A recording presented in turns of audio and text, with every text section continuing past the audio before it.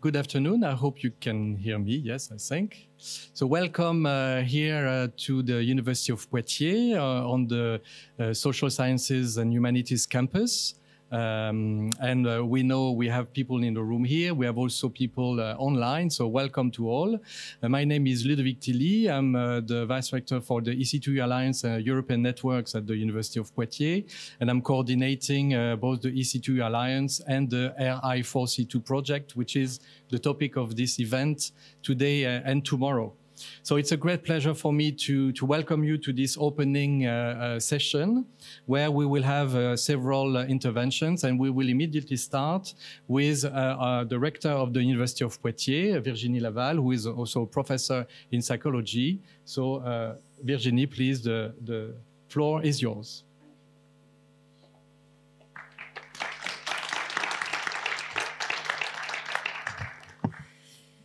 Dear colleagues from the EC2U Alliance, dear representative of the European Commission, dear colleagues and students, ladies and gentlemen, welcome to the University of Poitiers, founded in 1431. Welcome to our city university.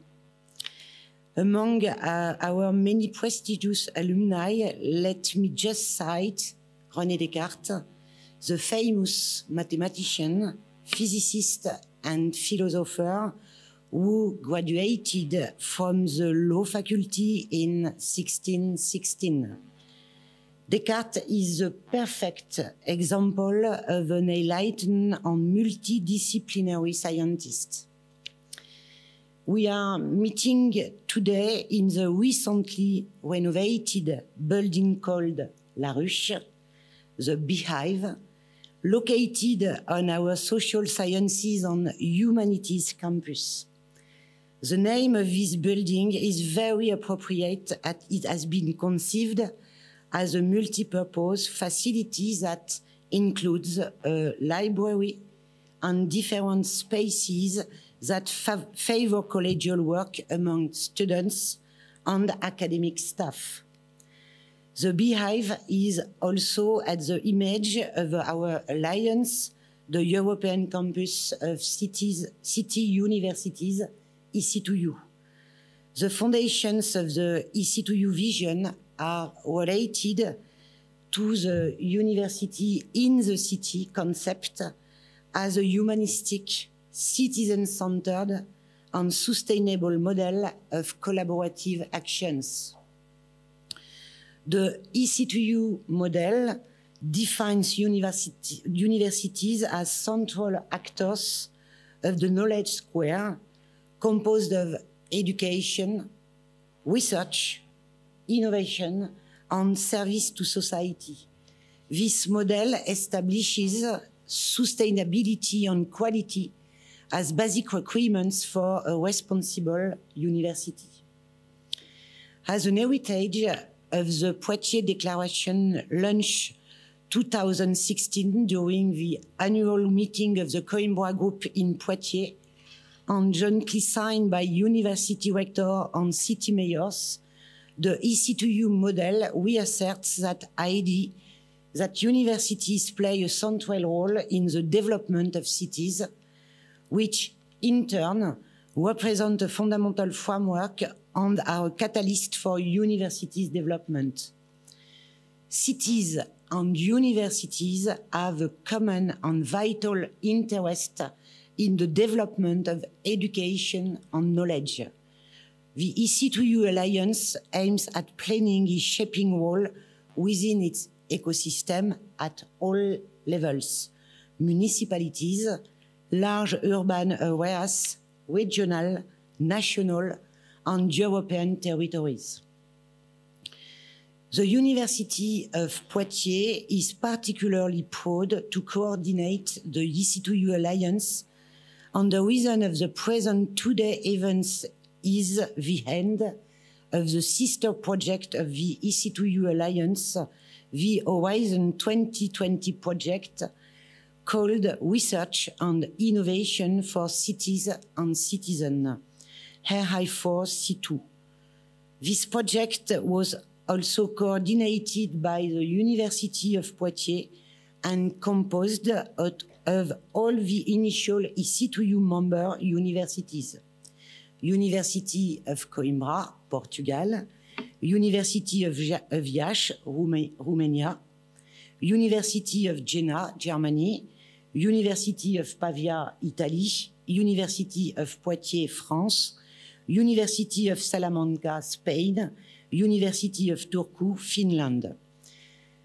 In the meantime, the EC2U Alliance welcomed the University of Linz, Australia, Austria, who also informally participated to some of the activities in the RE4, RE4C2 uh, project.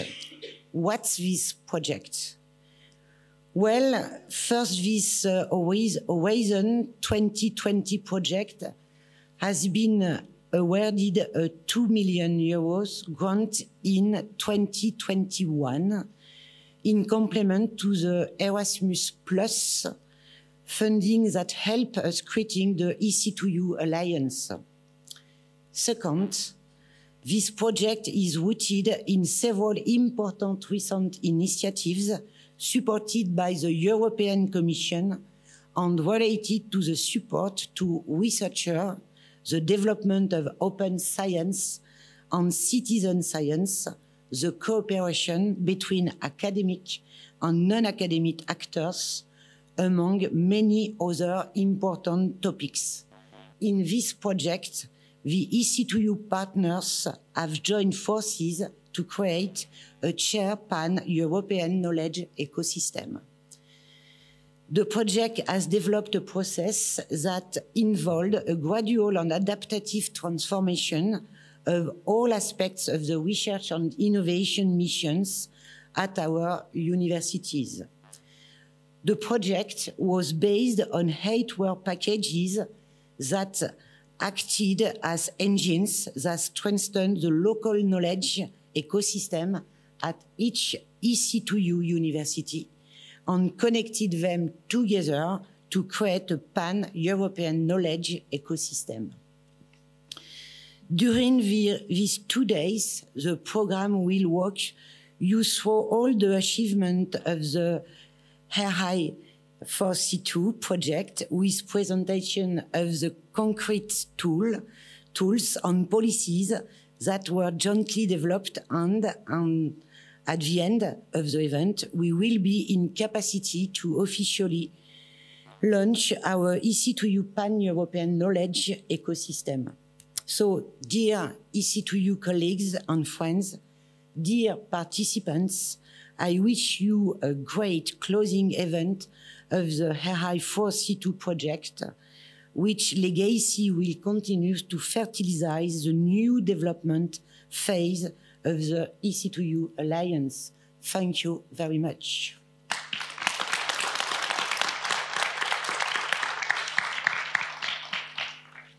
Thank you very much, uh, dear uh, Rector. It's not indeed an easy exercise uh, to use all these acronyms, so we will probably practice all together at some point. But thank you very much, uh, dear Virginie. It's my great pleasure now to introduce you to uh, Yves Gervais, who is a professor also in, uh, in Poitiers. Uh, and uh, uh, Yves Gervais is the Vice Rector for Research. So please, Yves.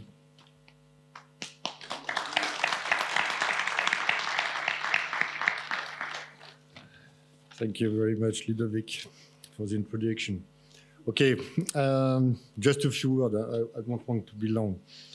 Dear colleagues, Dear participants, so after this uh, general presentation that has been given by our rector, Virginie Laval, uh, just want to, uh, to add some elements regarding the relevance of the work performed within the RI4C2 project. Excuse me with RI4C2, it's not easy for, for us. Huh?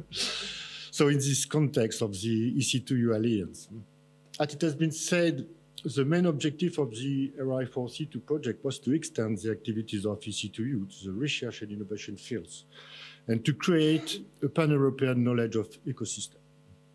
And it's going to be presented more in details during these two days.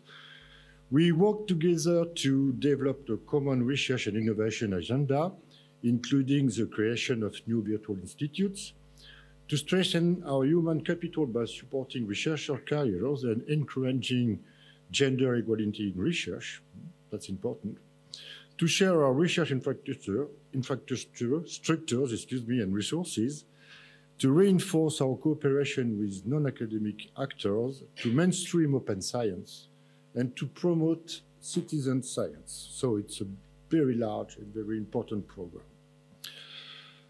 Let me just take one example where I have been myself directly involved.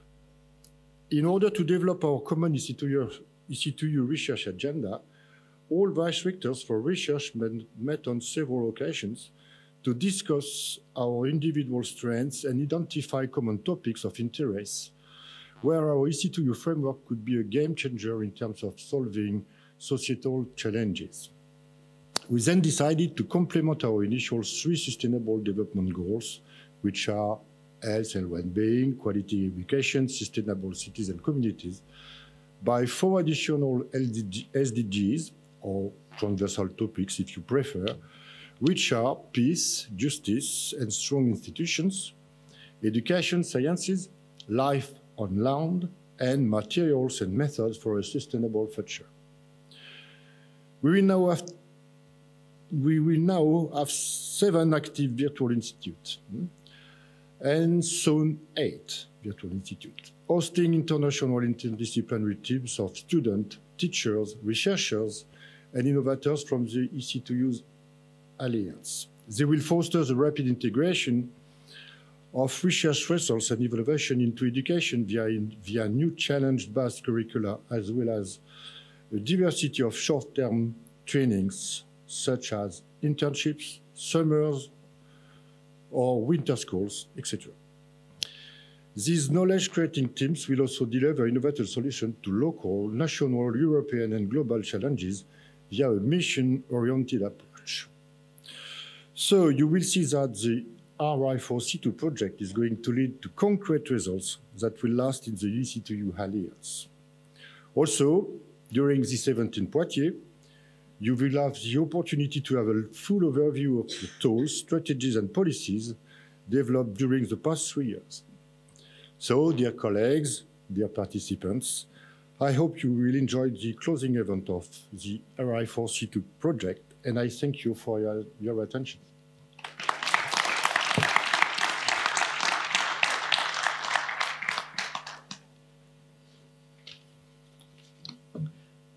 So now it will be my turn to speak, and I uh, didn't want to uh, repeat what has been already uh, explained in terms of the, the, general objectives of the RI4C2 project, as well as some concrete examples, such as the virtual institutes, as both rectors and vice rector, rector and vice rector has just explained. I wanted actually to take a, another approach, which is to somehow um, present to you uh, some of our latest reflections on why have we started this whole concept of the EC2U Alliance, and in particular, how the RI4C2 project has been uh, uh, created, submitted, and implemented.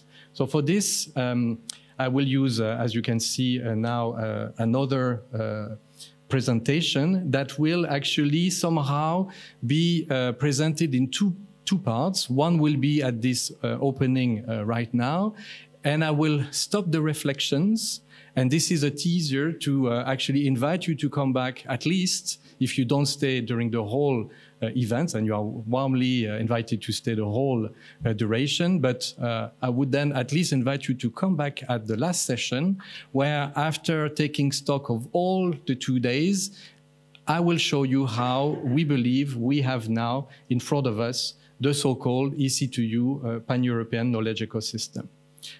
So yes, actually, uh, what I wanted to present to you is a, uh, uh, a recent concept, which is called the fourth generation university. And actually, it is so small on that screen that, uh, yeah, so actually, uh, let me, hopefully that, that works like that. Yes. Uh, yes, actually, on this slide, you see that until 2009, um, we were talking usually about the missions of the universities in terms of education and research. In 2009, actually, the notion of third generation university was introduced, uh, considering that uh, the universities are doing just more than teaching and doing research, but that they were also somehow active in creating value and knowledge and transfer this knowledge to society. So this is the whole concept of third generation university. In other words, the link between education and research to transfer that knowledge to, uh, to, the, to the society. And for those interested in all what I'm going to present, you have here the uh, references. Uh, as a scientist, I have to cite my sources. There is one, yes. Actually, um, there is a missing, yes, okay. What is the most recent development in this context? Actually, this notion of fourth generation university has been introduced recently, where this time we still have this connection between education, research, and innovation. But instead of only talking about transfer to society, there is this idea that there is also a societal impact on society, and regional development can be part of this impact. So basically, we introduce now the idea that universities, which is a reality, are connected to the local ecosystem.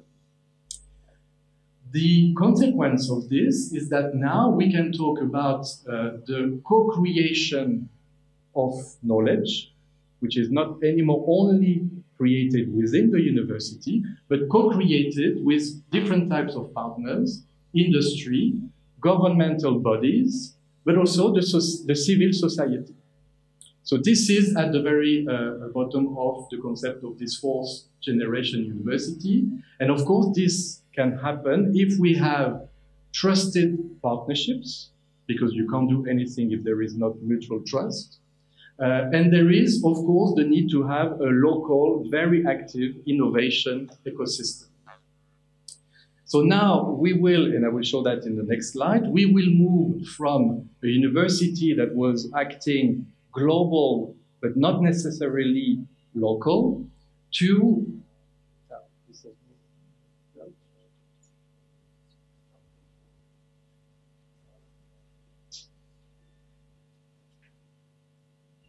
okay, um, where indeed now we embed the university into the local innovation ecosystem.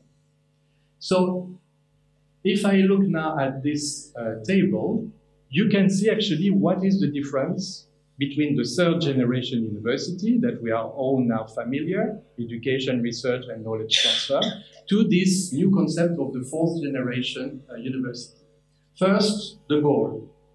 As I said, of course, in the third generation, it was about education, research, and knowledge transfer.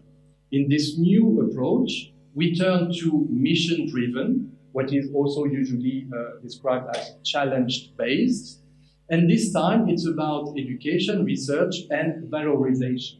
So knowledge transfer is switched to valorization.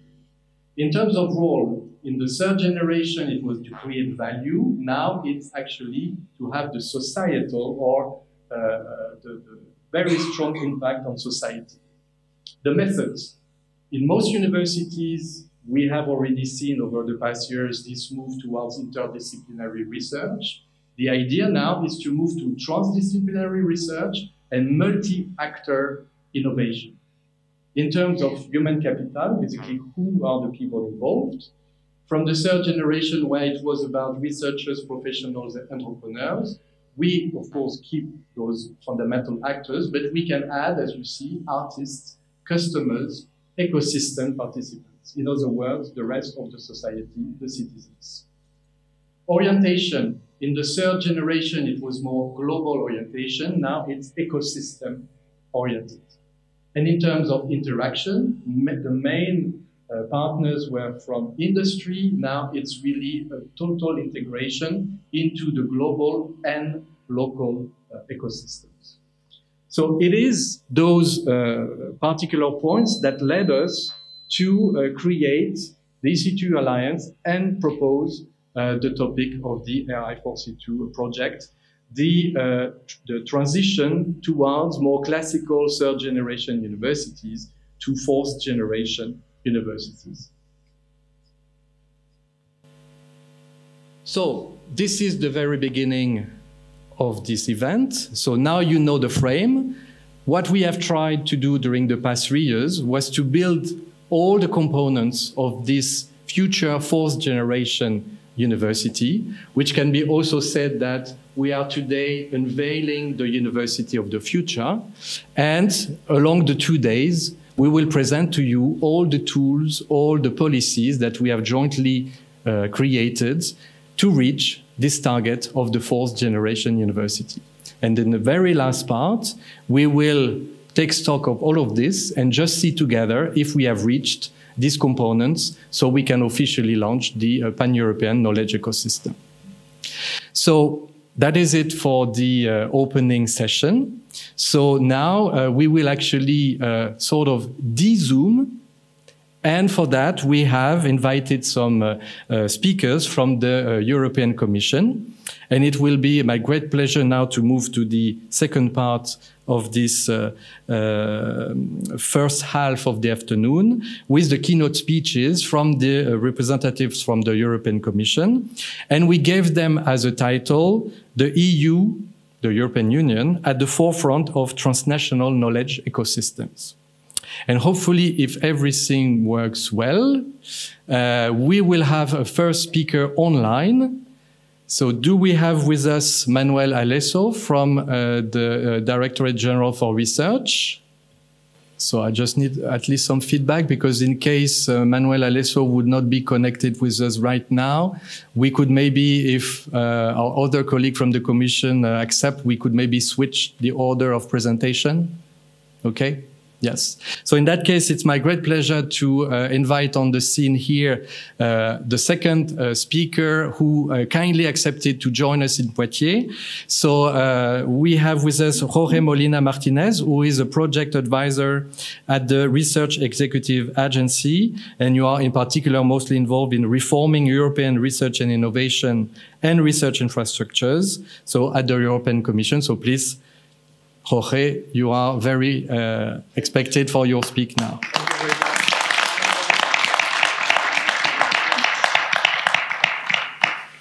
Thank you, Ludovic. Thank you, everybody. I'm bringing my own notes because I fear not to see properly in that screen. You know, it is it is my side on the edge. So if you don't mind, so yeah, good, good afternoon, everybody, and, and, thanks very much for the invitation. Uh, it is a pleasure, you know, Ludovic, it is a pleasure for me to be here in Poitiers, my first time in, in Poitiers, uh, first time at the University of Poitiers. I have to say that I'm impressed by first the city, Second, the university. I mean, I, I didn't know it was that big. Third, the place. It is an amazing place. And actually, I didn't even know that it was that old, the University of Poitiers. So a lot of discoveries for me today. Uh, so yeah, my name is Jorge Molina. I work at the European Research Executive Agency of the European Commission, is, which is better known as REA. Uh, I work there as a project advisor. Actually, I have been uh, proudly the project officer of RI4C2. So, you know, I have been closely following the development of, of the project, yeah. And, uh, you know, before coming to Poitiers, I was asked uh, to talk, uh, well, to talk, to present uh, some policy reports that we have uh, published, released from the REA uh, recently. Um, but, you know, I, I took the liberty to reorient a little bit the presentation and try to go a little bit farther. I don't know, is it the same presentation time? Yeah. To go a little bit farther and to talk about the importance of feedback to policy. Yeah. Feedback to policy, which is actually one of the activities that we carry out at the agency and in which uh, all the projects that we fund and, you know, RI4C2, of course, it is one of them, contribute, and they are very important, you know, for us to contribute to feedback to policy activities. So basically, what I will be talking about is, you know, try to zoom out a little bit, and I will be talking about the role of the agency of us as Commission um, in feedback to policy activities, and I will explain what is it about that of feedback to policy, why feedback to policy, why we conduct feedback to policy at, at the REA, uh, who has been involved in this feedback to policy exercise that has led to the publication of a number of reports that you might be familiar with, but that I will be presenting anyway further on in my presentation. Also, who has been involved in that process, how we have conducted the process, what are the results of that feedback to policy process, and I would say that more importantly, what are we going to do with that? Okay, now we have three nice policy reports where you have been contributed to, but now what is next? So what is the real added value of that policy reports, but also the policy tools that the RI4C2 has developed, for instance. So what are you going to do with that? With this, why is that important for us? So let's start by, by us, by talking you know, uh, by talking about ourselves. So what is the role of, of REA here? So the European Research Executive Agency of the European Commission is one of the six executive agencies of the, of the Commission, yeah? Actually, we're the largest one. We are like 900 people working at the agency across four departments. And we have a clear mandate from the Commission. And the Commission mandates that REA has to implement uh, some parts of Horizon Europe. Yeah? And uh, specifically, the REA is responsible for managing research infrastructures, for managing also uh, Maria Skłodowska-Curie actions, for managing the WIDERA work program, which is the widening plus the ERA part of the WIDERA work program, and then also uh, managing some parts of Pillar 2 of Horizon Europe, which is Cluster 2, Cluster 3, Cluster 6, and one of the five missions that we have uh, already in place, which is the EU mission Soil for Europe. Yeah, so that amounts for around 22 billion euros that we have in our budget, which is a significant part of Horizon Europe, you know, delegated to REA to, to implement. Apart from that, REA also manages other funding programs, uh, although you know Horizon Europe is the most important one. But for example, uh, the agency manages the uh, research fund for coal and steel, and also fund um, program called Promotion of Agricultural Products. On top of that, what we do is that we also we are also responsible for the research inquiry service. You as uh, you know as beneficiaries know what is that. You know the portal participant and all you know the services around it, and also we are responsible for recruiting and managing evaluators, evaluating the call for proposals. Yeah.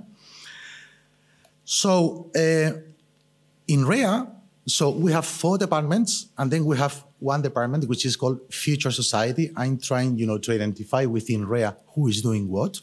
So we have one department, which is this department C, Future Society, and there we have one unit, which is the C4, called Reforming European Research and Innovation and Research Infrastructures. Yeah. So that unit is responsible for two things, and that's the unit where I belong to. On the one hand, we have the colleagues from the research infrastructures, and then we have the colleagues from the ERA part, and that's one of me. Hmm? So all the topics and call for proposals launched through the ERA work program in Horizon Europe are managed by C2. Yeah, so that's the mandate that we have. We have a budget of around 400 million euros for the period 2021-2027, which is the period covering Horizon Europe. And there, you know, we are nine people. I wouldn't say that we are many people. We are only nine people, nine project officers. Of course, we had, you know, some hierarchy above us, but we are nine people working on what? So basically, we have three main areas of activity. The first one is project management. The second one is communication. And the third one, and I'm here highlighting in bold, is feedback to policy. So project management is the most important part of our work. So as of today, we, nine people, we manage more than 150 projects. I mean, Horizon Europe and Horizon 2020, because you know that we have this legacy, even though Horizon 2020 is over, but we have the SwafS legacy from Horizon 20. So that's managed by us. And then also Horizon Europe. So you can see there, you know, the amount of budget beneficiaries and deliverables that we have to manage. Hmm? Again, nine people. Yeah. So we don't get bored. Eh? Uh, we cover a broad variety of topics. You know that data we cover policy coordination, knowledge valorization. We cover open science, citizen science, science communication, research careers, research assessment, of course, European university alliances or transformation of universities. So ethics, so a very wide range of, you know, horizontal topics. And we cover, with all the activity that we manage, we cover more than half of the ERA actions of the ERA policy agenda. So you know that the, the current ERA policy agenda 2022-2024 has 20 actions. So we cover mm, 11 actions so far. Yeah. So that's the core uh, activity of our uh, sector. But apart from that, we do communication and we do feedback to policy. So communication, what is it? Okay, so what we do is that we support our projects in communication activities. For example, I don't know, Ludovic tells me, hey, listen, we have this activity. Can we have the support from REA, you know, to, um, to amplify communication on dissemination for our activities or whatever? We provide that service. And also, from time to time, we publish what we call, I don't know, maybe you are familiar with it, what we call Cordis Results Pack. So, you know, the Cordis is the big European database of research.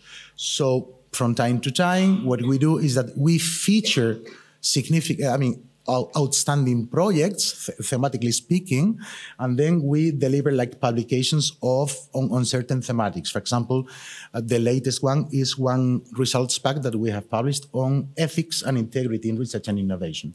But we address other topics, for example, science communication, science education, so on and so forth. Yeah, and then we have feedback to policy, and feedback to policy uh, even though it is not the core uh, business of our sector, but we do that because actually we are supposed not to dedicate more than 3% of our time to this task. I can tell you that we dedicate much more than 3% to the feedback to policy.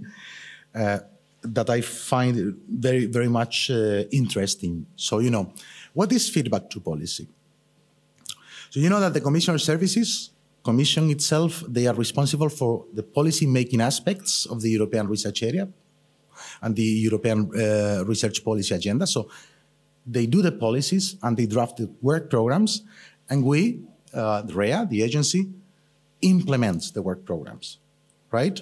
So to ensure that the Commission's policy-making process is enriched or fed with uh, evidence from the projects funded, we need a mechanism that we call feedback to policy plan. So what we want is that, okay, we fund a lot of projects. Those projects produce quite a lot of very interesting results, and we really want those results to have an impact. That goes, you know, in the direction that Ludovico mentioned in, in the previous presentation, to have a clear impact on society, for instance, but also we want that the results from the projects that we fund have an impact on the policy making process so that the commission colleagues they can keep on defining new policies improving new policies defining new work programs new funding uh, you know areas and so on and so forth yeah? So we, we have this feedback to policy plan. So the reports that i'm going to talk you about a little bit further on my presentation are framed in the feedback to policy plan 2023 so we have a feedback to policy plan every year. And you know, those reports that I will tell you about are framed in the previous year's feedback to policy plan. So that feedback to policy plan 2023 covers the ERA part of, of Horizon Europe, but also cover, com covers completed and ongoing SwafS projects from Horizon 2020. So what what we have done to define that feedback to policy plan is to take you know, information from 250 projects there, you know, and trying to extract those policy instruments that have a real added value and to fit them into the commission services. Yeah? So um, you can see there from, the, uh, from that graphic um, 20 actions which are, you know, which, which uh, comprises the ERA policy agenda 2022-2024, and how the money has been invested by the Commission in the different ERA actions. we have to bear in mind that the ERA part of the WIDERA Work Program, you know, uh, and the projects that we fund are directly linked to help the implementation of different ERA, ERA, policy actions of the ERA policy agenda. You, know, I told you that we cover around 11 actions, but we have, for example, that most of the money so far has gone to Action 14, which is citizen science. Yeah. Then we have also uh, quite a lot of resources going to Action 4, which is research careers, uh, including research skills. Also, uh, Action 5 is gender. That means that a lot of resources have, have, uh, have gone to gender. Action 9, which is um, international cooperation, if I'm not wrong. Action 13, which is European University Alliances. You know that the, the RI4C2, of course, it, it was um, an IBA action, which is an identified beneficiary action. I mean, money going directly to the European University Alliances. So there you can see, you know, where the money has gone since 2021 and up to date, no? But there are a number of policy priorities that will define in a way where the resources and the money will go in the future. Yeah. And this is something that uh, it has been identified and decided by the Commission, of course, by RTD, but also in coordination with the REA. Yeah. And then in 2023, um, a number of priorities were defined. And priorities were defined on research careers, including research skills and research management, uh, and research assessment, and then transformation of universities. So those were the priorities. I mean, that doesn't exclude other ERA actions, of course not. But, you know, there was an interest, a political interest, you know, on dedicating more efforts, attention, and maybe, who knows, resources to those actions, yeah? Research careers, uh, research management, research assessment, and transformation of universities. Yeah?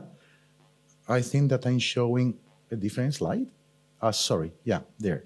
Sorry about that. You see there that I'm, yeah, uh, the policy priorities 2023. Hmm? Um, okay, and once those priorities have been defined, what to do regarding to policy, uh, to feedback to policy. So we proposed first to focus on three specific actions, which are ERA Action 3, ERA Action 4, and ERA Action 13, and elaborate some policy reports. Hmm? So we propose to uh, elaborate a report on research assessment, another report, policy report on research skills, and another one on good practices from European University Alliances Pilot 2. Apart from that, that we call big tickets, so that are products that we are going to uh, produce in the frame of that feedback to policy plan, of course, we have continuous feedback to policy activities in parallel. Yeah, for example, we as agency are involved in the drafting of the work programs. Mm, uh, elaborated by by the commission. So the commission, from time to time, they also consult us on the work program, and we provide with with feedback. Yeah, feedback that normally comes, or one of the sources of our feedback from the agency to the commission comes from the evaluators of the call for proposals. So when, when, we conduct, for example, the evaluation of proposals, we ask the evaluators to give us feedback. Feedback on the process, feedback on the topic, feedback on the, you know, on the policy implications of the topic, and then we take that feedback and then we pass it on to the commission as well, yeah? So that it helps uh, the draft the new work programs.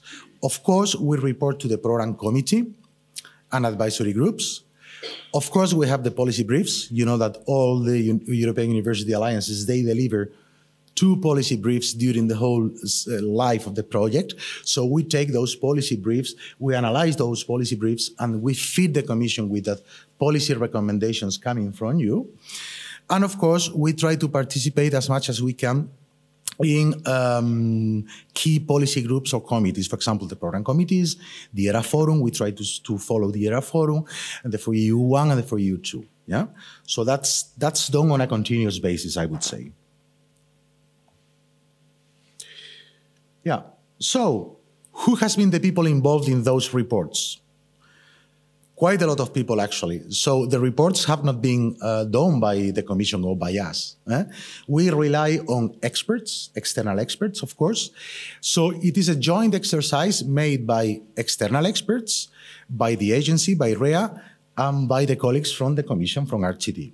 So you know, you have there the names. Of course, it is public and they are in, in all the reports you might be familiar with some of the names because actually some of these experts are also reviewers of, of projects, you know, and uh, and yeah, uh, indeed, you know, one of the experts have been the reviewer also of the RI4C2, so they might be familiar to you. Uh, so and and of course, uh, besides experts, REA and the Commission, we have counted on your support, project coordinators, and I will tell you now why, because we reached you in the middle of the process just to get some feedback from you to the reports that we were producing. And of course, at the end of the process, we count with the support of the EU Publication Office and the REA Communications Department, you know, to, to, uh, to communicate and disseminate um, the, the information. So how the process has been uh, conducted it took us like six months to prepare all the reports, the three reports. 15 people were involved in this exercise. It has been fully funded by, by the agency. We involved more than 60 projects here, which means that six, more than 16 projects have been analyzed and screened by the experts. There you can see 39 on research assessment, 16 on research skills, and the 22 European University Alliances from Pilot 2. So what, what the experts have done is that for each of those 60-something projects, they have analyzed policy briefs, they have analyzed periodic reports, they have analyzed deliverables and reviewer assessments. So it's a huge amount of work. Uh, you know, behind, behind the reports. We have had an intense coordination between the experts, REA and RTD. You know, from REA, we don't conduct the work, of course, uh, that relies on the experts, but we monitor and we make sure that it, it, it, it it's also in line with the requirements from the Commission, from RTD, and of course, after that, it is validated and endorsed by the high-level uh, management uh, of, of the agency. And after that, we, uh, we rely on, um, on the services from the REA for the communication and dissemination purposes. So these are the three reports. Yeah, The reports were published in March. These reports uh, on research skills report on research assessments and good practices from European University Alliances Pilot 2. Uh, you may have received them already because actually um, the first thing that we did when they were published was to target all the European University Alliances. It was also uh, presented to the ERA Forum uh, and therefore, you know, presented to the member states. Yeah, and they feed into the new ERA policy platform. You know that uh, a new ERA policy platform has been created you you may have you you you, you may have know it already. And there is an interesting uh, repository where all the policy instruments, you know, and all, yeah, I mean, all, all policy instruments related to the ERA policy agenda has been stored and displayed there. So any information related to the ERA policy agenda, it is compiled in a nice way, which is being improved in the ERA policy platform. But let me, uh, because I don't want to go through the three reports, but uh, you know, I would like to focus a little bit on the report on good practices from the European University Alliances Pilot 2. You know that this report um, complements another report that we published in March 2023, which was the progress of University Alliances Projects Pilot 1. But differently to this one, the one that we have published in, in March 2024 it is not a progress report, but a compendium of good practices. Compendium of good practices from the uh, 2022 projects funded under the pilot two of the European University Alliances. Yeah. So basically, what it does is that showcases those good practices selected by the experts. I can tell you that it was extremely difficult to pick good practices. extremely difficult. I mean, we have 22 European University Alliances Pilot 2, and we have dozens of very good practices. But uh, we didn't want really to make a compendium of good practices very huge or something like that. So basically, the experts, you know, came to the conclusion that okay, what is it a good practice?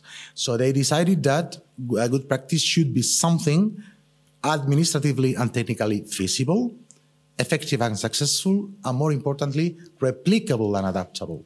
Something that could be used as a best case example for others to be maybe replicated or emuled. Yeah. So it is not an exhaustive compendium. And I can tell you that, you know, after that we got some, uh, we were reached by some alliances saying that, hey, but the example that you pick for my alliance is not the best one. I have many other examples to show you. Yeah. Sorry about that. You know, maybe more uh, reports will come in the future. Yeah. Still, we try to involve in a way, in the best possible way that we could to the coordinators and consortium of the European University Alliances by validating the information selected by the experts. But still, I mean, this is not a closed document, and I'm pretty sure that more reports and better reports will come in the future. But still, you know, it provides, I think that a good overview of examples uh, of good practices maybe not the best ones, but good practices. And also it provides uh, conclusions and recommendations to the European University Alliances mostly, but also recommendations that we take and we, uh, yeah, that we take and, and we pass on to our colleagues in the Commission, yeah? Of course, uh, RI4C2 is recognized as a good practice there, in particular in, in, in open science. I don't know if it is the best example from the Alliance, but it is one of them. You know, I'm pretty sure that you have, I'm pretty sure, I know, I'm sure that you have many other good examples in the, in the Alliance, but this is the one picked in the report. Yeah? Um, I don't know what is the time, Ludovic. Uh, I'm fine, yeah? Um, and, and, probably the most important thing because this was a very interesting exercise and very enriching, and we learned a lot from the projects. You know, when you are all day long in the bubble of project management. Eh? And you step aside and you dig into feedback to policy and you can really see what the projects are doing. It's really enriching, yeah? So what are we going to do now with these policy reports and with the, poli um, with the results that you have produced? Well, the first thing is that these policy reports have already contributed directly to the ERA policy agenda, to the current ERA policy agenda. Mm? So the thing is that we have very interesting cases, examples, uh, conclusions and recommendations that feed directly into ERA actions 3, 4, and 13. That's the, the first result. I have to tell you that the European University Alliances, they are so wide uh, in many ways that of course they contribute to many other actions of the ERA policy agenda there. You can see you contribute to one, five, I mean, you have seven transformation modules, and as such, you contribute to many other ERA actions apart from the 13, yeah? So that's one thing. But the current ERA policy agenda is coming to an end, well, coming to an end, the current one. You know that we are still working on the continuation of the ERA policy agenda 2025-2027, Work is still in progress. ERA Forum is doing a great job, member states, together with the Commission and stakeholders, in proposing new actions for the new ERA policy agenda. There is one specific action, uh, which is unleashing the full R&I potential of Europe's universities, with, in a way, it's kind of continuation of the current ERA Action 13. So still more support to, yeah, more support to the R&I dimension of the European universities will be considered and taken into account in the next ERA policy agenda. And, uh, but other potential uh, ERA actions for you as European universities to be considered are also um, proposed in the next ERA policy agenda. For example, open science, research infrastructures, research careers, research assessment, or knowledge valorization. So still, you know, you have contributed a lot to the ERA policy agenda, you still can contribute a lot to the next ERA policy agenda. So it is clear that these reports and the policy results that you have produced contribute to the ERA policy agenda. But it also contributes to the next framework program, to the FP10. You know that we are halfway Horizon Europe. Uh, we are close to the interim impact report of Horizon Europe, yeah, but we are already working on the next framework program. We are already working, the Commission is already working on how the ERA will look like in FP10. Uh, RTD is proposing different scenarios for the ERA in the next framework program, which means volume of funding, uh, coverage, which actions will be covered, will be the new era more aligned to the era policy agenda, and therefore the work programs will fund dedicated actions. Who knows? Still too soon to say, but Commission and, and, and us, we are already working on that. And I can tell you something that the policy reports and the work that you have contributed with has been fed into the uh, into the position papers of the of the FP10. So it is really taking into account. Yeah. So yeah, this this is it more or less what I wanted to talk to you about about the um, the policy, uh, the, the, feedback to policy. Um, I'm very happy to see that you are launching a PEKE. By the way, it's a very nice acronym, PEKE, yeah, because it's also very much in line with other instruments that we already have in place to support knowledge ecosystems. You know that we have now uh, an open call for proposals supporting talent ecosystems, for instance, which is, I understand that much in line with the knowledge ecosystem that we are proposing. So it's good to see that you are going in the right direction. Well, I, I don't know if the right direction, but at least a similar direction to the one that we are going. I mean, from, from the Commission side, which is which is a very good thing. Yeah. And just to finish, um, just uh, a reminder. Uh, you know that in September this year we will have the next ERA conference, 20, uh, ERA conference 2024, that will take place on the 18th and 19th of September, if I'm not wrong, or maybe the 17th or 18th. I'm sorry, but you know, no, no, 18th and 18th and 19th of September in Brussels. Um, you may already have received some information about the conference. The conference will be a two-day conference and will be presenting first uh, what has been achieved already in the frame of the current ERA policy uh, agenda 2022-2024. And the second day will be more focused on the future of, of the ERA, all right? And also we have a joint final conference. I don't know if call it like that, but I, I couldn't find any other way to call it. Joint final conference of European University Alliances, SwafS projects uh, on the 4th of October in Brussels, kindly, you know, uh, pushed and steered by Ludovic and by RI4C2. So I'm looking forward, you know, to learning more about the activity and please count with our support for anything you need.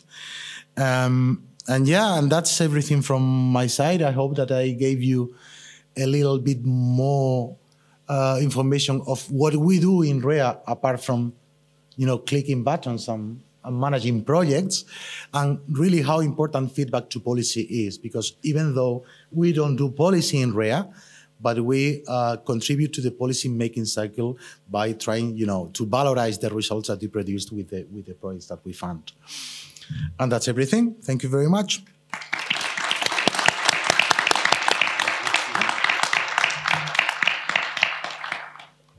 Thank you very much, uh, Jorge, for this uh, uh, these details that also show uh, to us uh, what is practically done at the European Commission uh, and the different uh, uh, bodies that are involved in uh, preparing the policies that then we see arriving at the level of the different countries and in the different sectors. So it's good to, to also see how this is performed and that we are part of that process somehow.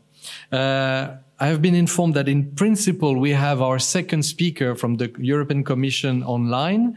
So Manuel, are you with us? Yes, indeed, Ludovic. I hope you can hear me. Yes, we do. Wonderful. Wonderful to see you. Uh, let me quickly introduce you to our uh, colleagues here in the room and online. So, uh, Manuel Aleixo, you are the head of the unit entitled ERA European research area, spreading excellence and research careers. So you are working with the Directorate General for Research and Innovation at the Commission, and uh, you will uh, basically complement uh, the presentation from Jorge on providing also how actually, and this is related to the topic of the of this session, how actually in Europe we are really pushing in this direction towards a transnational knowledge ecosystem, which is something that we also try to achieve at the level of our EC2U Alliance and its RI4C2 project. So please, Manuel, uh, it's your turn now. Uh, Ludovic, uh, thank you very much, uh, uh colleagues. Uh, first of all, I apologize that I cannot be with you Uh, physically uh, in Poitiers. Uh, I am in Poland right now, from Poland to Poitiers, um, and and I will tell you in a moment a little bit about what I'm doing here because it's relevant, I think, to the discussions today. Um, if you allow me, I will share a presentation. And thank you very much uh, to Jorge because his, I think his presentation was very uh, interesting, and um, uh, I hope that uh, mine will uh, uh, somehow complement his. Um, I'm in the process of trying to share my screen. I hope you can see it. I hope you can see my screen now. Uh, we can see it, but it is still very small for the people in the room. So let we we will probably just yes, exactly. Now we have uh, moved the different windows. I hope I'm trying to.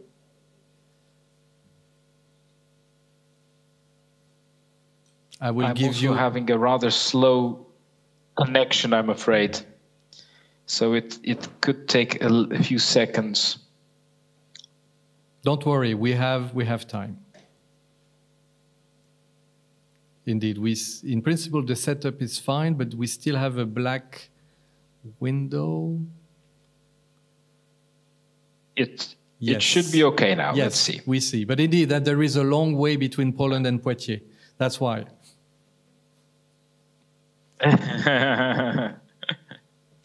Indeed. So. Um, I'd, I'd, like to uh, share with you a few thoughts about what we've been doing in terms of the European research area, where we are going. Uh, Jorge has already mentioned some uh, important points, and I'll go over them again a little bit, maybe in a bit more detail. Um, and uh, in the meantime, as I say, I'd like to share with you a little bit what I'm doing here in Poland because I think it's very uh, interesting uh, for you and for your work. Uh, and it's uh, absolutely part of the ERA and the implementation of the ERA policy agenda. So, just a quick recap from the beginning. Uh, we have been putting in place gradually several um, instruments, several policy instruments, several processes. Uh, as you remember, this started with the ERA communication in 2020, where we set out the first policy framework, then the adoption of the pact with principles, with priority areas for joint action, with also a policy co coordination mechanism. This is very important, uh, a monitoring mechanism and then, of course, a new ERA governance, the ERA Forum, where, of course, Ludovic uh, is uh, very active in different capacities. Uh, and uh, and many of you, of course, are, are very active, and, and we welcome that immensely. Um, and this allows us to have what didn't exist, I think, before in this way, which was a collaboration between member states, associated countries, stakeholders, uh, together around the table. And this for us is very, very important because we don't see how we can implement the European research area in, uh, uh, in any other way. Uh, this is not an area in which we can simply legislate uh, and uh, make things happen through a top-down legislative mechanism. This doesn't simply doesn't work like that. Um, so, as you know, in, in, in 2021, the ERA policy agenda, this first ERA policy agenda, was adopted. Um, the the um, this ERA policy agenda was, in a way, uh, uh, and is still in a way, somewhat experimental because, as you will notice there, uh, some actions are, uh, well, we can say we cheated a little bit For example, Action 19 uh, is the ERA monitoring mechanism, which we would have to implement anyway. And of course, this is now um, running, it's now uh, on track, um, but it's not what I would consider a proper ERA action. So you will not see this in the next ERA policy agenda. But we were also trying to learn ourselves, learning by doing. And so some of the uh, actions you see today, uh, of course, some worked better than others. Um, I give you one example of one that I think worked quite well. Uh, and that uh, you have also been uh, quite closely involved, and that's Action 4 on research careers. Together, we have managed to, um, I think, implement most of the deliverables of Action 4. Um, very quickly, I can mention them. It's the uh, Council recommendation on research careers, which we worked on together and was adopted by the Council, Research Comp, um, the uh, MLE that we are now kicking off, uh, the Observatory and Research Careers that we are now starting also with the uh, um, with the uh, OECD. So all of these uh, um, instruments we are uh, somehow putting together gradually. And today, here in Poland, in Katowice, uh, we are we are having uh, uh, yesterday, today, and tomorrow the EURAXESS biennial conference that we have every two years, and we have uh, formally um, unveiled and and and and started the new ERA Talent platform, as well as the revamped uh, website um, with with new functionalities, of course. And this is extremely important because, uh, again, in the context of Action 4, I think one of the most significant um, actions in practice that actually uh, contribute to improving research careers uh, is precisely the EURAXESS network.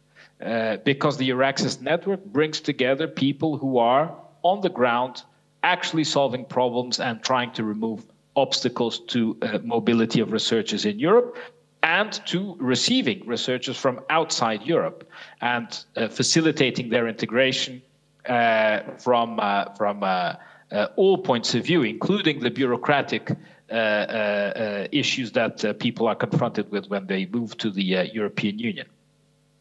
So I, cannot emphasize enough how important this network is, how important it is for us to, in the context of developing research careers in Europe, to nurture, to encourage, to support this network and to facilitate uh, its work. And this is uh, precisely what we are doing here in uh, Katowice these days. Um, so, as I mentioned, the ERA policy platform. Uh, uh, is also online. Actually, I didn't mention this. I talked about the talent platform, but Jorge did uh, mention this. This is quite important uh, the ERA policy platform is where you can um, find the um, monitoring mechanism of the European research area. So, what will you find in the policy platform? Well, you find the reports, the 18 uh, month report on the implementation of the European research area, the national reports, member state by member state. Uh, you will also find a map in which you can click on different countries and you can see the different actions in which countries participate and what are what is the status of these uh, uh, respective actions. Um, and uh, uh and you have uh, a lot more information, of course, related to the implementation of the uh, European research area. We have a challenge here. This only works. I mean, we can produce all the reports we want, but this can only work really in an optimal way if we can convince the member states to upload their own measures, their own initiatives in the ERA policy platform. And this is not happening yet, probably because this is very recent. But we have to, as much as possible, um, uh, make uh, uh, everyone understand that implementing the European research area is not just about uh, EU measures. I would say it's really not that much about EU measures. It's about what happens on the ground in member states, um, and uh, um, and so this participation of member states in uh, sharing with the community what is going on in their own uh, uh at, at, their own national level, I think, is crucial. And so this is an area where we still have to work on, and we still have to improve our um, uh, our work. But again, uh, I'm uh, the, the, I think the fact that we already have reports with sufficient quality uh, which show the uh, and, and, can can uh, portray in a in a reasonable way the implementation of the different actions, uh, I think is already quite a positive uh, development, and allows us to uh, Uh, together with different. Uh, uh, different other instruments, such as the feedback to policy, as Jorge explained, allow us to refine our understanding of what we need for the next ERA policy agenda, what we need in terms of actions to develop the European research area. So this is all work in progress, so to speak, uh, and uh, and uh, and it's work that we do together. We do it together with you, uh, with the stakeholder representatives uh, uh, in the ERA forum, with the member states. What's happening now in the immediate future? Um, well, we have one one thing that already happened, so that's in the recent past, not no longer in the immediate future. That's the Letta report. I think the Letta report is is quite important because it. Um, in a way, uh, it, it is a re report about the single market. It's it's called much more than a market. It talks about the four freedoms, and then it says, well, the four freedoms are not enough. We need a fifth freedom. So we recover in the Letta report the expression fifth freedom, which was a sort of an expression already of the past. And I think it's great that uh, uh, Enrico Letta recovered this expression uh, because calling, and this is not consensual among also colleagues in the Commission, that we should call the European research area the fifth freedom. Um, because uh, some people think that this is uh, excessively uh, assimilated to the single market.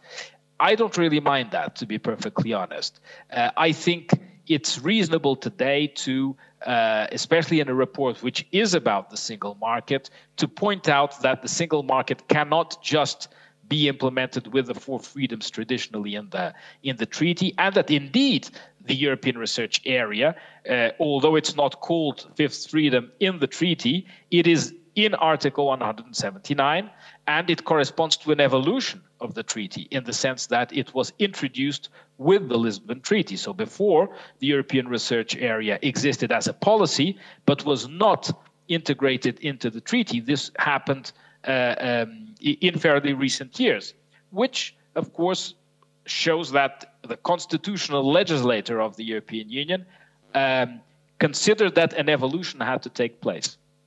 And so, for, for these reasons, I think it's absolutely fair that the Letta report mentions the fifth freedom and uh, uh, makes an appeal. And again, if we look at what is written there, one of the important points that that is uh, that is mentioned is precisely the careers of researchers, the skills of researchers, the mobility of researchers. All of these uh, uh, extremely important and complex issues that we try to address together, and that we know uh, do not have a magical uh, solution, but do require a, a, lot of attention and efforts from our part. Um, we uh, will have very, very shortly an ERAC opinion, hopefully, on the next ERA policy agenda adopted uh, on the 26th of June.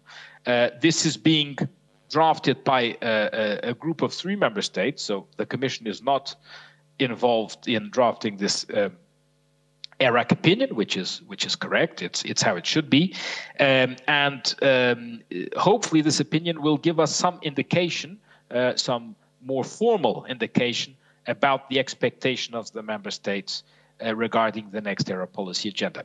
I don't want to spoil the the surprise, uh, but I don't anticipate a big deviation in relation to what has been discussed and proposed in the ERA forum so far. I think uh, ERAC's message will be something along the lines of, you know, work on this set of actions that you have on the table in the ERA forum, work to refine them. Don't worry too much about what you should remove, what you should keep, but really improve these these proposals, and then we will see what we keep uh, in the in the policy agenda once it is proposed by the Commission and then adopted by the Council. And this should happen um, next year in the course of the first semester of 2025 under the um, Polish presidency.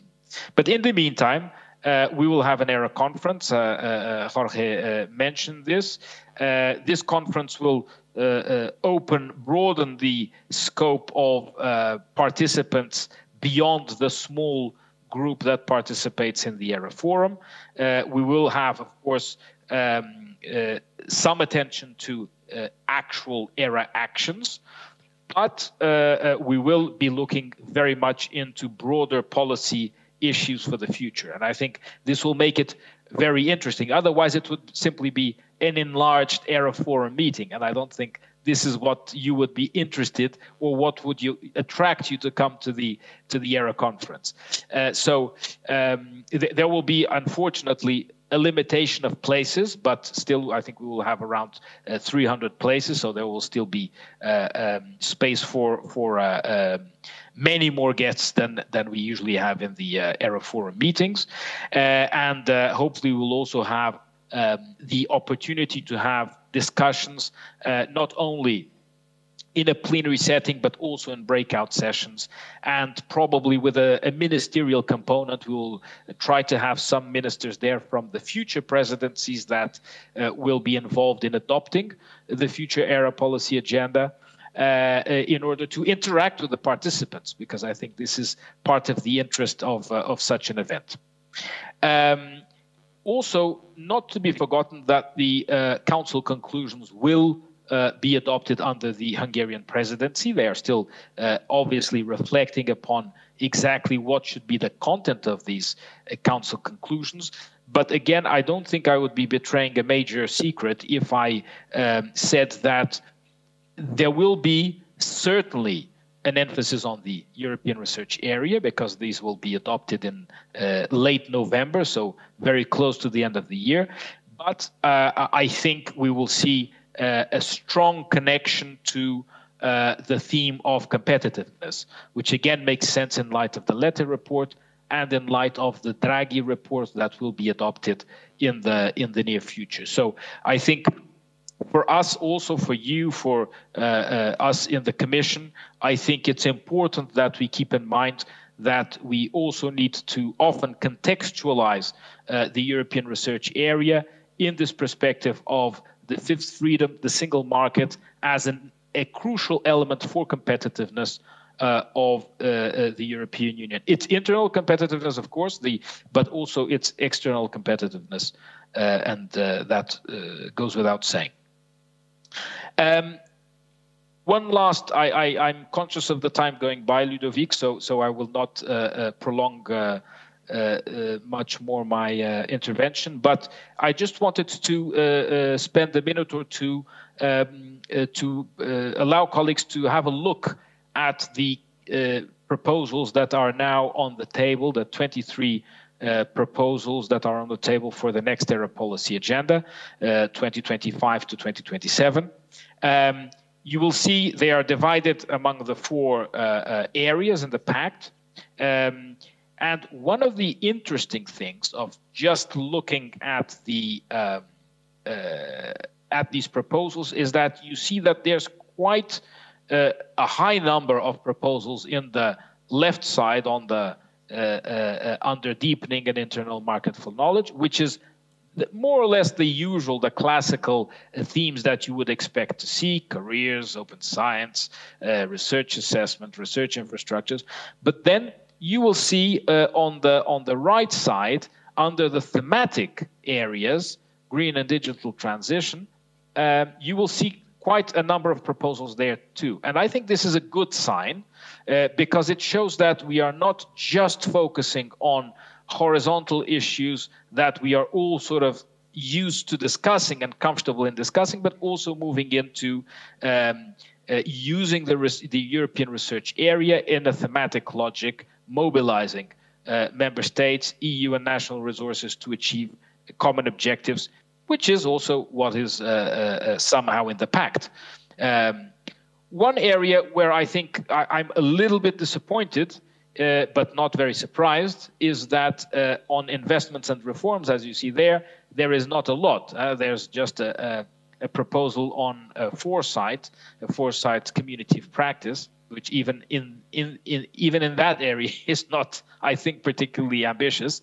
But um, but there's uh, nothing really um, in relation to uh, uh, investments, which you recall in the current ERA policy agenda there was this Action 20 that nobody wanted to. Uh, uh, to uh, to implement, or there was not a critical mass of member states who wanted to implement it.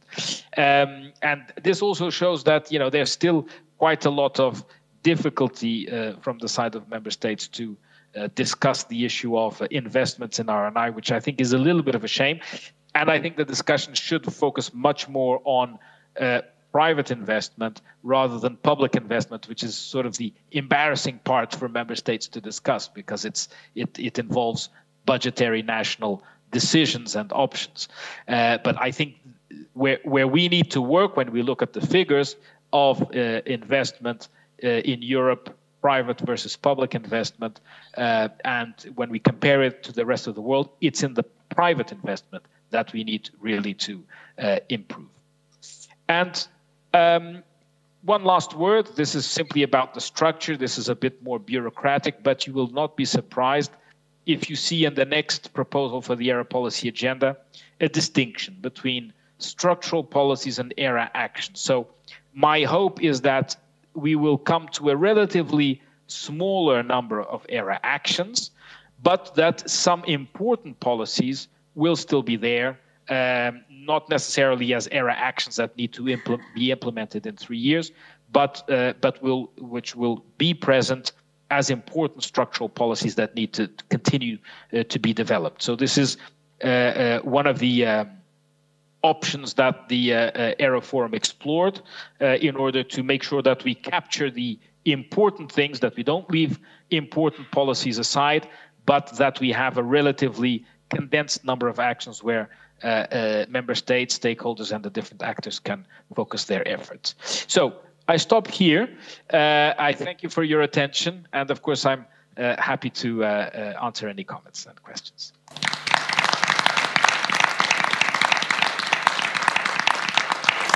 Thank you very much, Manuel. This was very interesting to see also the sort of uh, the other side of the coin. Uh, we have seen before how uh, there is this um, these mechanisms to feed the policy discussion, and you showed actually how then these policies are collegially discussed and, and then actions are proposed. So it was uh, actually interesting also to show all the uh, the participants uh, I, would dare to say also the complexity uh, of all the process. Uh, but it's important that we are all aware uh, of this uh, process because uh, that's that's part of the reality. And uh, somehow, I hope that some of our colleagues also see that projects like the RI4C2 or what we also deliver within the EC2U Alliance are actually an integral part of this this process. They are not the only one, clearly, but we do actually participate also to this uh, uh, collegial construction of the future policies, in particular in the R&I field. Uh, if you agree to, to stay with us, let's say uh, five to 10 minutes, Manuel, we have also Jorge still on, on, the, on the, the scene with us, so we can maybe open now for some questions if there are from the, the room. So we have the microphones here. Probably you, you will need to, to take one, uh, Jorge, at some point. So do we have uh, here questions? We also have uh, people online. So uh, let's see if we if we have some uh, some questions here. Do not hesitate. We don't have so uh, so many often possibility to directly interact with the colleagues from the Commission. So that's that's really the opportunity. Well, please. So if uh, each of you can uh, first introduce yourself and then uh, ask your question. I'm Jorge Hernandez from the University of Salamanca, and I would like to, to ask to Jorge and Manuel, uh, how are you um, moving, doing that transformation process in alliances? Because that's a debate we have in universities. How are we uh, switching from being um, uh, mobility Erasmus uh, program, let's to say, Erasmus Plus mobility program based basically on mobilities, how are we moving to a more um, getting in the R&I dimension? That's the point. Uh, what, what is the consideration between, that's when, when we are speaking with our managers in our universities, they are asking us what is going to happen with the alliances structure. So this would be more focused in R&I. That's something that is clear after your speeches today. But what are the thoughts about that? Okay, thank you very much. Ma Ma Manuel, do you, want, uh, you want to go first? Um, I'm, I'm, happy to, uh, Jorge. Uh, okay. Uh, I'm happy to. Um, uh, th thank you very much for the question. Um, well, before uh, uh, saying something about alliances, um, um, I, I, thought your comment about transformation versus mobility was quite interesting. I hadn't seen, I confess, I hadn't seen things in that light. For me, I, I, I would like to think that we are working on both uh, sides, that we are working on transformation and uh, on uh, mobility. Because I think um, I don't see how we can credibly um, develop a European research area without uh, addressing the barriers and the obstacles to uh, mobility within the uh, European space. Uh, so for, for, me, that is a, a fundamental uh, uh, point, and it's one that we have not resolved, not even close. Um, otherwise, EURAXESS would probably not be necessary. Um, so, so, so I think I think both things are, are, are extremely important. Uh, we do have to work on the transformation, but we also need to work on uh, mobility. But on alliances specifically, um, I think I'm a great fan of alliances, I have to say. I think they're a fantastic uh, instrument. Uh, and what I like about them is that they're all very different and that they all have different objectives and different. Um, uh, uh, and, and, and, and they pursue different visions. Um, some uh, want uh, uh, to establish a regular form of cooperation. Others uh, want to move together to constitute a single uh, European uh, university, a single European entity. Um, and, and, and, and I know that the, the, this, this diversity is very positive. Um, what I think is that um, as to the future uh, modalities of funding for alliances, I know that DG EAC is reflecting upon this, uh, and they are also discussing with us from the research and innovation side what should be, what could be uh, funding instruments for the future. But in the meantime, we, we, are living in the present, and I think in the present there are uh, alliances are a privileged uh, uh, partner, a privileged actor um, in applying for certain calls uh, for uh, funding in certain uh, areas. And this we see already today. Uh, and uh, if you allow me to uh, do a little bit of publicity, we, we opened recently a call, this pilot call for research careers um, for early stage researchers, which is a relatively big pilot because in the meantime we got a bit more money together, uh, and uh, and so it, it, for me, alliances are obviously privileged um, candidates to, to, to apply to this call because uh, what we want to establish is consortia that uh, provide employment to uh, uh researchers. And uh, so we want to improve the employability of researchers through this kind of initiative. Um, so for me, uh, somehow the question is not so much. Um, how do we support alliances in the future, but uh, are alliances um, somehow um, privileged partners and, and particularly strong partners to uh, engage, to apply, to uh, integrate consortia, etc. And I think we, we start seeing that that is the case. And in some calls, alliances are very successful already. Um, so um, uh, I, I, would say that we, we, we have to certainly, and, and I've discussed this with Ludovic uh, uh, more than once, we have certainly to look in, into the future. Um, what kind of modalities would make sense and what kind of modalities should we uh, pursue? But in the meantime, in the present, I think alliances are very, very uh, solid partners, let's say. Jorge? Yeah, thank you, thank you, Manuel. I, I agree very much with Manuel. I mean, in my opinion, I can under, I, can I cannot understand either, uh, you know, a European research area without the mobility component. But just to give you a different uh, perspective from a more uh, implementation angle, yeah. Well, I, I think that the first thing is that to me, University Alliances is a great initiative by the European Commission a big effort from the Commission has been uh, invested to support European universities. We cannot forget that more than 1 billion euros uh, have been invested to support European University Alliances, 1 billion euros. I mean, if we take into account Erasmus Plus, Horizon 2020, and the EIT, uh, so which is a significant amount of resources. From an implementation point of view, of course, university alliances were created in the frame of the Erasmus Plus, where the R&I dimension was not, I wouldn't say not covered, but it wasn't the priority. And then, you know, and then uh, RTD stood up and proposed an 80 million pilot to reinforce the R&I dimension of European University Alliances, you know. I think that was a good step forward by the Commission, you know, just to strengthen the R&I dimension of the European universities, which, in my opinion, has proved to be a success because European University Alliances has indeed been able to develop a common R&I agenda and to strengthen, you know, uh, the, their institutions from seven different angles, you know, covering the seven transformation modules. Yeah. The good thing here is that, as Manuel mentioned, I think that the coordination between EAC and RTD, you know, can be perceived by the single fact, fact that the second Erasmus Plus call for proposals already include a work package on R&I.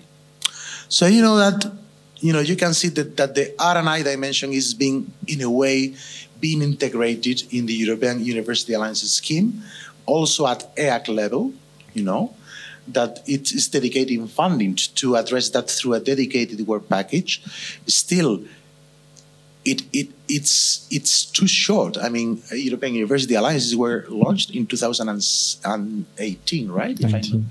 18. So it's been only, you know, five, six years. But, you know, let's consider the, the amount of resources and effort that has been put on them. To me, it's already a success.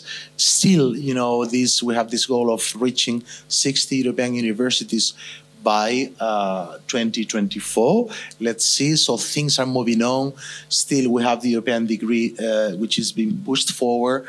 Uh, still, um, okay.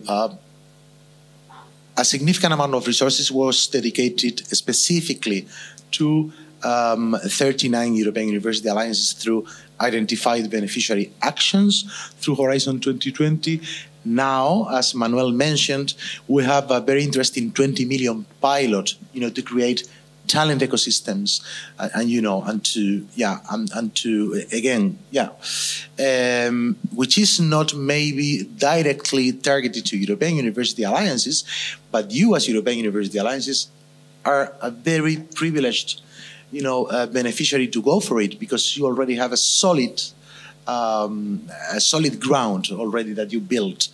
So, you know, who knows about the future? You know, I know about the present. Still, I can see that the Commission is making an effort to keep supporting European university alliances.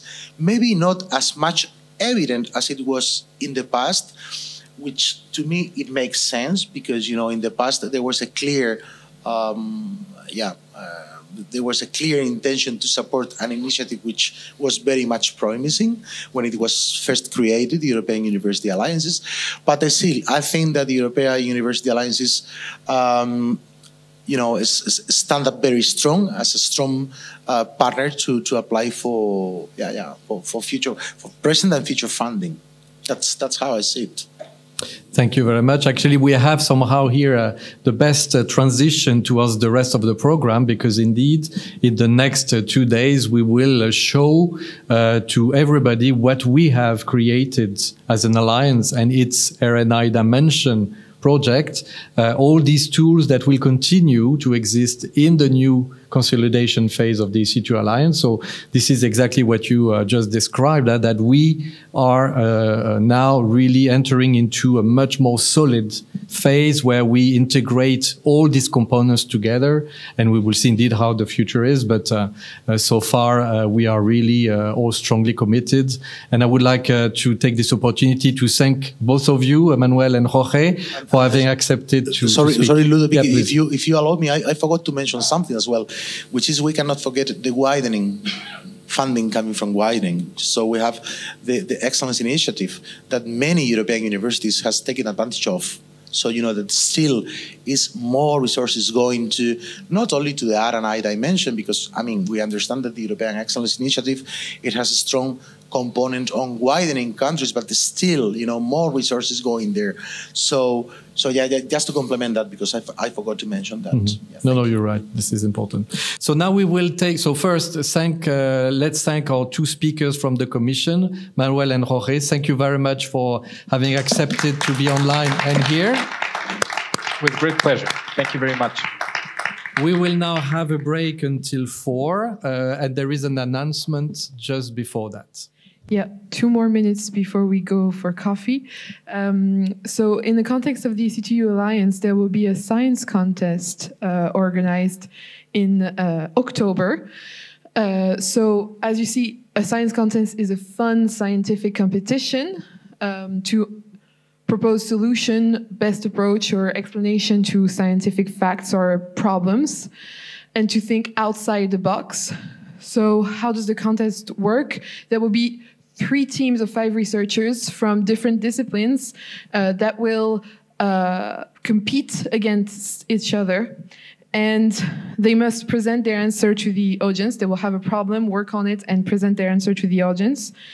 So, what uh, the team that organized the EC2U Science Contest proposed is that you can also participate by suggesting questions that the teams of researchers can answer during the science contest. So basically, you can scan this QR code and suggest a question, uh, and the science con contest will take place at the EC2U Forum in Linz on the 23rd of October 2024. So here's the QR code. If you want to suggest any scientific questions for our teams, you're welcome to do so.